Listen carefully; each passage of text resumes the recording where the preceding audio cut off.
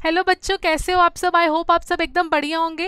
अब हम जल्दी से देखते हैं the liquid metal use in the thermometer हमारे थर्मोमीटर में कौन सा मेटल यूज़ होता है? हमें अब बताना है वो। और हमें पता है हमारे थर्मोमीटर में मर्करी यूज़ होता है, जिसका सिंबल क्या होता है? एच जी तो यहाँ पे हमने लगाना है मर्करी ऑप्शन नंबर ए